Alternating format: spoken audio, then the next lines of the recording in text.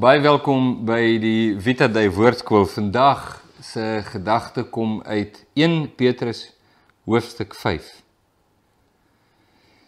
En uh Petrus is een van daai boeke wat jy wil 'n versie lees uit hom. Ek wil nou vandag vers 6 lees.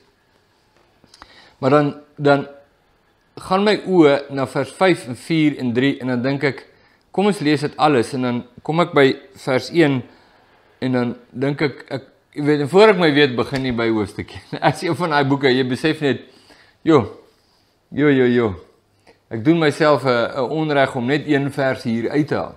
Maar vir die doel van hierdie video kom ons gaan kyk nou maar nou net na die een versie of so twee of drie van hulle wat so bymekaar is. Maar ek wil jou sterk aanbeveel doen jouself 'n guns en dan begin jy by hoofstuk 1 vers 1 van 1 Petrus. Lees die boek deur. Kom, hy is hy is baie lank nie. Jy het 5 hoofstukkies, dis niks nie, dis niks nie. Dis korter as 'n nuusbulletin op televisie. En jy doen baie beter deur hierdie boek te lees as die nuusbulletin te kyk. So lees lees dit deur. Een in een sitting, begin by vers 1 van hoofstuk 1 en lees reg deur en uh, en dit sal jou tot groot seën wees. Ehm um, maar kom ons begin by vers 5 dan nou in in uh, in Petrus se vermaaninge en bemoedigings aan die gelowiges. Hy sê net so moet julle jongeres aan die oueres onderdanig wees en wees almal met ootmoed bekleed in onderdanigheid aan mekaar want God weerstaan die hoogmoediges maar aan die nederiges gee hy genade. Nou ja ek wil nou nie oor hierdie vers praat nie maar kom ek sê daarom net daar is orde. Daar's beduidende orde. En uh, en julle die jongeres wees aan die oueres onderdanig. Daar's 'n orde daar. Daar's 'n erkenning daar. Daar's 'n erkenning van die oueres en die wat meer senior is. Dis 'n erkenning. Maar daar is ook die kosbare gedeelte daarna wat sê en wees almal in ootmoed bekleed en onderdanigheid aan mekaar. So, so dis regtig iets om na te kyk want skryf Petrus God weerstaan die hoogmoediges.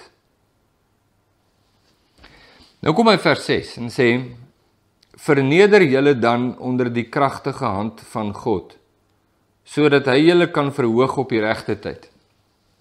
Jare gelede, 30 jaar terug om die, om die waarheid te sê. Is ek eendag in 'n gesprek met 'n jong getroude paartjie.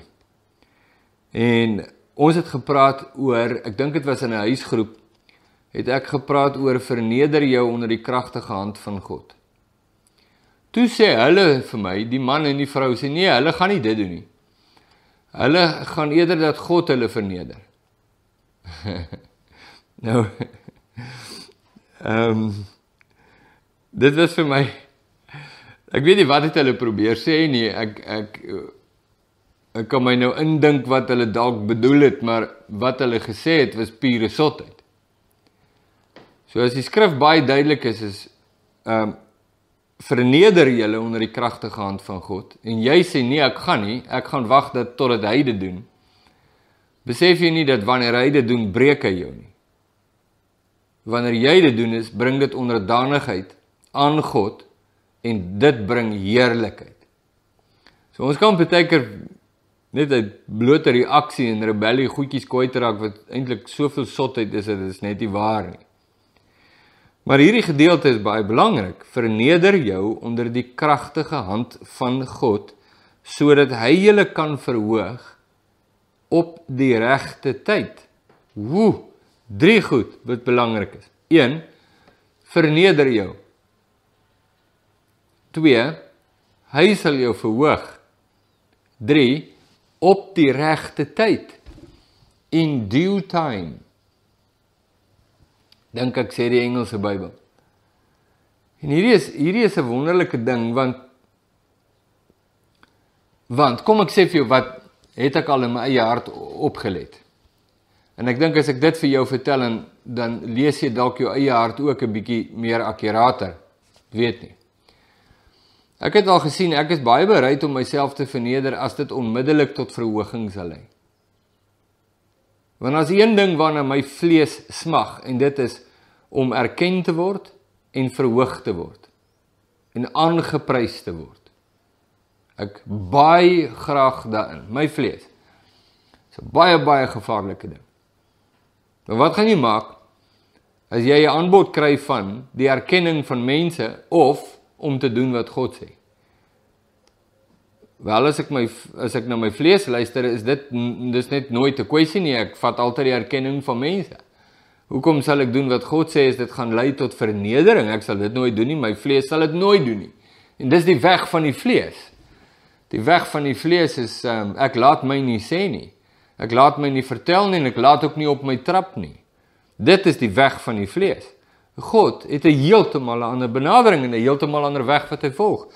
En om dit uh op hierdie manier uit te druk om te sê God het geen ooghare vir die vlees nie. Nul. God het geen behoefte om my en jou vlees te streel of te paai of te sis nie. Geen. Inteendeel hy het net een agenda vir ons vlees en dit is die dood. Die weg van God is juis die weg van die kruis. Om myself te verneder onder die kragtige hand van God.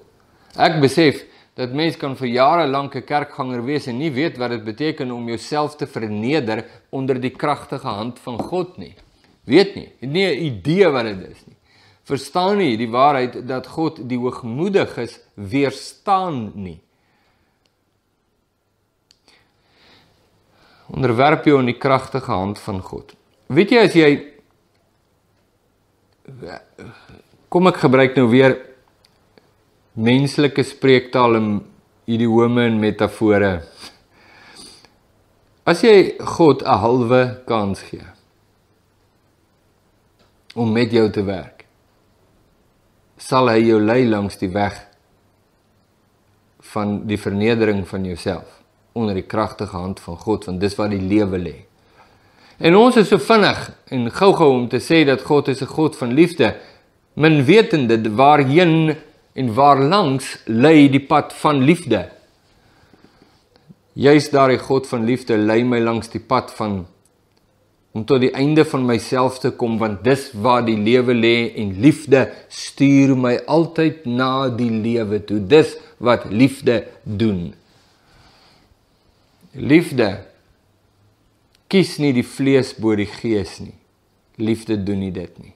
Dis die mees liefdelose onsinnigste ding om te doen maar die waarheid is Die graad van daardie vernedering onder die kragtige hand van God kom duidelik deur die frase op die regte tyd. Hy sal my verhoog. Hy sal my bou op die regte tyd.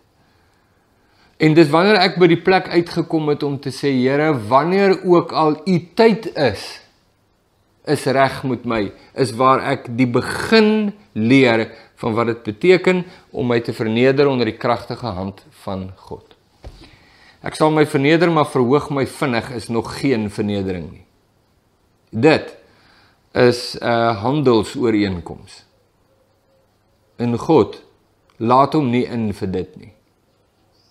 Maar wanneer ek na hom toe kom en my hart voor hom neerlê en sê Here, wat u ook al met my maak.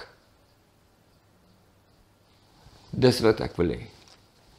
Ek is volledig in u hande wat hy ook al doen is reg. Is waar die ware vernedering of onderdanigheid aan die krag van God kom. Weet jy hoe sukkel sogenaamde Christene met onderdanigheid aan God? Wat van jou? Ek kan vir jou 100 insidente uit my eie lewe uitnoem waar ek alles wil doen behalwe aan God onderdanig wees. Wat van jou? Hierdie is 'n belangrike vraag. Wat van jou? God het sy tyd en hy het sy manier. Is jy bereid om aan hom 'n 100% onderdanig te wees en oor te laat al die beheer van jou lewe wat dit ook al mag beteken? Is jy bereid om dit te doen? Jy sê ja, maar hoe doen 'n mens dit? Wow, wow, voor ek nog by die hoe is, is jy bereid om dit te doen? Is ek bereid om dit te doen? Dis waar jy begin. Hy self wys my hoe. Ons wil altyd weet hoe voor ons besluit of gaan ons dit doen of nie. Dis nie die punt nie. Daar's 'n gesindheid in my hart. Ek is bereid om dit te doen. Ek glo dat God God is Ek glo dat hy is en dat hy kan doen wat hy gesê het hy kan doen, want dis wat geloof beteken. Ek glo dat God God is. Ek glo dat Jesus is wie hy gesê het hy is. En daarom gee ek myself in sy hande oor. Maak nie saak wat die konsekwensies is, maak nie saak wat die uitkoms of die resultaat is nie. Is jy bereid om dit te doen? En dis waar die worsteling begin. Ons wil dikwels ons onbereidheid om aan God onderdanig te wees en onsself te verneder onder sy kragtige hand kamoufleer en toesmeer met 'n klomp tegniese praatjies. En allerlei ou goedjies wat ons sê net om hierdie een saak ons absolute onbereidwilligheid, weiering om aan sy kragtige hand te onderwerp en te verneder onder hom toe te smeer dat dit nie sigbaar moet wees nie. Ek wil nou vir jou sê, Ek dink dit is belangrik dat ek en jy na God toe gaan en sê Here, openbaar ons harte. Maak 'n bietjie sigbaar dit wat ek so probeer wegsteek, dat ek kan sien waar ek staan. Sodat ek my kan verneder onder u kragtige hand. U wat my sal verhoog op die regte tyd wanneer u kies. Soos u kies. Ek is oorgegee aan u hand. Dit is baie belangrik om hierdie konfrontasie te omhels. Die konfrontasie in jou eie hart met God. Maak werk daarvan.